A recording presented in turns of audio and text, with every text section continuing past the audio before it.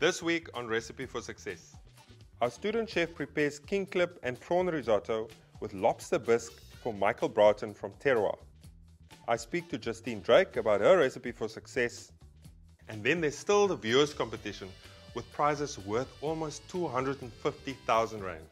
Catch it on the home channel, DSTV, channel 176. That's Recipe for Success, proudly brought to you by Samsung.